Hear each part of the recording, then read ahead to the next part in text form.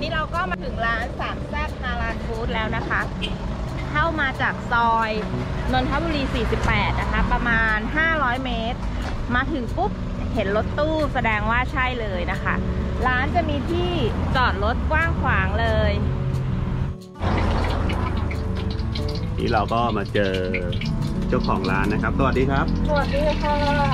เจ้าของร้านชื่อคุณอะไรครับชื่ออุ๋มค่ะคุณปุ๋มนะครับ วันนี้มีโอกาสได้มาชิมนะ คือลักษณะร้านของคุณอุ๋มเนี่ยเป็นรถเป็นรถตู้เนาะแล้วมาใช่ตกค่ะแต่งตู้รถตู้เป็นไอเดียที่คิดเก๋มากเก๋มากแกโดนจับขายที่ได้รถตู้แล้วค่ะร้านนี้เปิดมานานยังครับ ประมาณปีกับอีกสองเดือนได้แล้วหนึ่งปีปีนิดๆนะคะปีสองเดือนเจ็ดโมงค่ะ แล้วขายถึงกี่โมงครับ เต็มที่บ่ายโมงครึ่งถึงบ่ายสอง แล้วเมื่อกี้ผมสังเกตเห็นหน้าร้านเป็นป้ายฮาลานด้วย แสดงว่าร้านนี้ทำอาหารอิสลามด้วยใช่นะครับเป็นอิสลามค่ะอ๋อ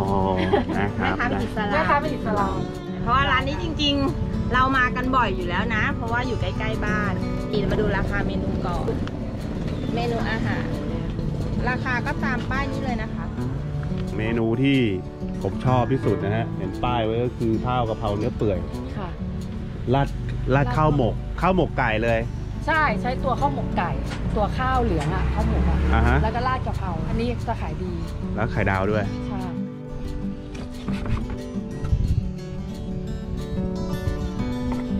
จุดเด่นของร้านนี้ที่สังเกตก็คือจะเป็นถาดใช่ค่ะค่ะลองใบตองอ๋อเสิร์ฟมาจากถาดเลย เป็นจุดจุดขายของเราพูดง่ายใช่ๆนะครับ ตอนแรกเสิร์ฟครั้งแรกคือลูกค้าตื่นเต้นเห็นมาพร้อมถาดฮะอืม พี่เสิร์ฟแบบนี้เหรออะไรอย่างนี้ มาแล้วนะครับเมนูที่ผมสั่งไปฮะข้าวกะเพราเนื้อเปื่อยเอ่อราดข้าวหมกไก่นะครับโปะด้วยไข่ดาวโอ้โหจานนี้นี่ น่ากินมากครับ น่ากินจริง ๆ เลยนะฮะเดี๋ยวเราลองมาอ่าชิมดูครับ นี่คือไซส์ที่ขายอยู่ทุกวัน นี่ขายทุกวันใช่ไหมใช่ไซส์นี้เลยนี่นะครับเสิร์ฟหนึ่งก็ถ้าเป็นข้าวผัดก็จะให้สี่ตัวอะสี่ตัวใช่หรือผัดกะเพราทะเลใช่ไหมครับใช่ค่ะนี่ตัวข้าวทะเลค่ะนี่เมนูที่คนสั่งเยอะที่สุดของร้านคือเมนูไหนครับน้องอุ๋ม ตอนเอ่อส่วนมากจะเป็นกะเพราราดข้าวหมกอะค่ะ ที่แบบว่าใครมาแล้วแบบอยากลองเพราะว่าตัวข้าวหมกกับกะเพราอะกินแล้วมันเข้ากันใช่มันจะกลมกล่อมกว่าข้าวขาวกะเพราเนื้อราดข้าวหมกใช่กะเพราเนื้อได้เล็เนื้กอประมาณคะเป็นเล็กประมาณของร้าน ใช่ได้ทั้งเนื้อสดเนื้อเปื่อยเลยค่ะ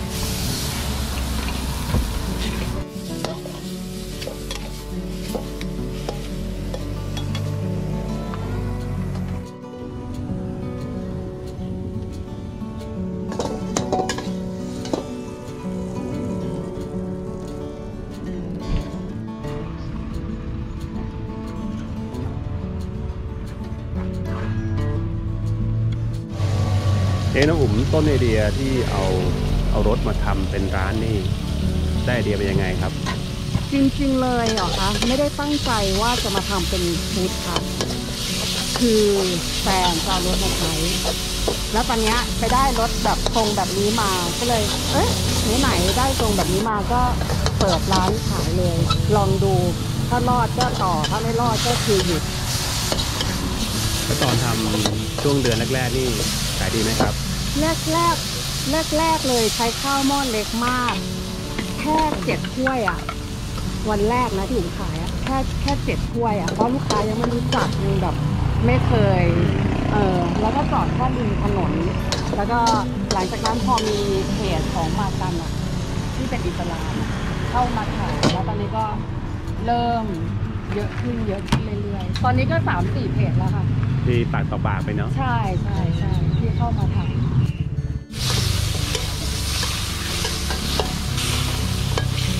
โดยทั่วไปแล้วมีประเภทโทรมาสั่งบ้างไหมครับดีค่ะ ถ้าโทรมาสั่งส่วนมากจะเริ่ม 11 โมง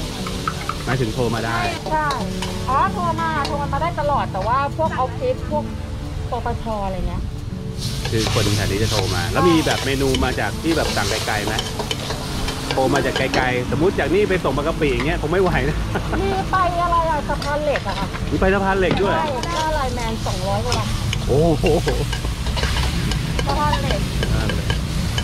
แต่ร้านน้องอุ๋มคือไม่ได้ผูกกับแอปอะไรใช่ไหมครับใช่ค่ะแต่คือขายเองสบายๆนะฮะ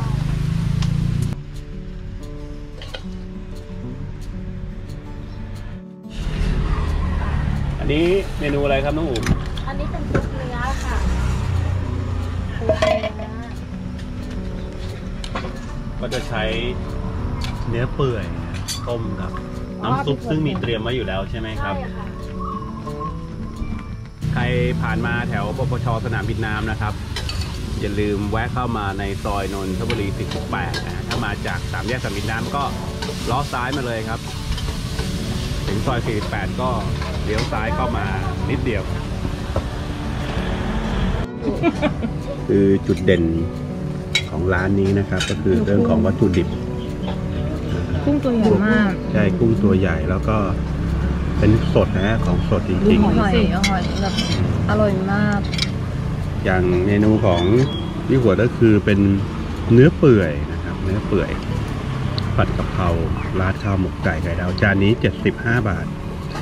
ถือว่าถูกมากนะครับ เยอะมากถ้าเป็นเนื้อธรรมดาก็จะลดลงไป 10 บาทนะถ้าเป็นเนื้อธรรมดาก็จานนี้จะเป็นห้าสิบอ่า65บาทก็ไข่ดาวใบละ5บาทน่ากินมากมาซื้อร้านนี้ทุกวันไหมครับ วันเป็นวันก็มาดีค่ะ เป็นไงฮะร้านนี้อาหารรสชาติอร่อยใช่ไหมฮะอ่าอันนี้เป็นลูกค้าประ ที่ร้านนี้โดยตรงไม่ได้มีการเตรียมกัน รสชาติใช้ได้ รสชาติใช้ได้เลย ค่ะ แล้วคุ้มกับปริมาณอาหารเลยคุ้มกับราคาเยอะอิ่มเลยอิ่มเลยใช่ไหมครับ แล้วคุณภาพกินกันคุณภาพอาหารเป็นไงฮะ ดีค่ะ ดีมากเลยนะครับโอ้ผู้นี้น่าน่าภูมิใจแทนเจ้าของร้านนะ ขอบคุณมากครับคุณพี่ ขอบคุณนะครับ ครับครับกินเขาประจำ กินข้าวเจ้านะฮะครับมามามาสั่งบ่อยไหมครับ ร้านนี้บ่อยอยู่นะครับ แล้วก็คุณภาพ อาหารที่เราได้ไปกับเทียบกับราคานี่เป็นไงฮะถือว่าเขาไม่ได้เอาเปรียบเลย คุ้มค่านะครับขอบคุณนะครับ นี่ก็เป็นลูกค้าอีกท่านหนึ่งนะครับ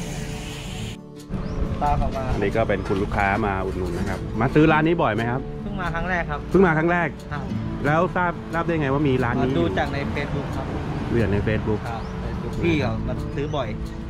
ก็เลยก็เลยน่าทานน่าทานน่าน่าทานผมชอบกินข้าวหมกอยู่แล้วครับโอ้ครับแล้วก็ค่อยมาอุดหนุนใหม่ ชื่อร้านสาม Z นี่มายังไงครับน้องอุ๋มอ๋อสาม Z นี่คือมีแต่คนถามว่าทำไมถึงใช้ชื่อนี้ คือสามแซดนี่คือตัวย่อของลูกเลยสามคนสามคนพี่น้องคือตัวแซดฟาเนียซีนายไซด้าอ๋อก็เลยใช้สามแซดฮาลานฟูดค่ะ ครับ แล้วร้านนี้เปิดตั้งแต่ ร้านนี้เปิด 7โมงเช้าถึงบ่ายโมงครึ่งเต็มที่ก็แค่บ่ายสองจันทร์ถึงเสาร์นะคะครับ ถ้ามาช่วงกลางวันคนเยอะหน่อยกลางวันคนจะเยอะหน่อยอ่าใครมีโอแต่กาสโปรจองได้ค่ะใครมีโอกาสผ่านมาก็คือซอยนี้เองนะฮะค่ะนนทบุรี 48 ค่ะ ตรงเข้ามาก็อยู่ทางขวามือความมือ